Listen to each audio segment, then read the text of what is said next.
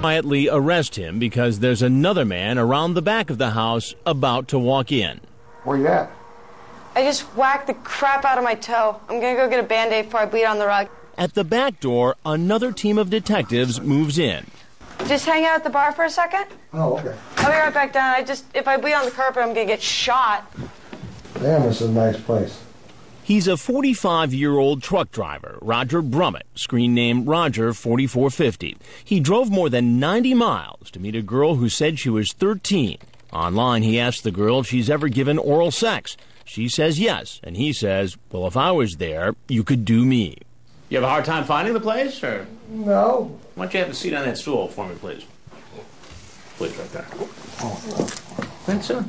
No, I'm leaving. Well, you know, you got to know a couple things before you go. He takes off out the back Well, door think you're gonna where wanna hear about detectives are waiting. Get on the ground! Get on the ground! Sheriff's office! She says she's 13 years old. She said her name was Katie. Katie. In the meantime, though, all the other men arrested in our investigation oh, are facing questioning by detectives.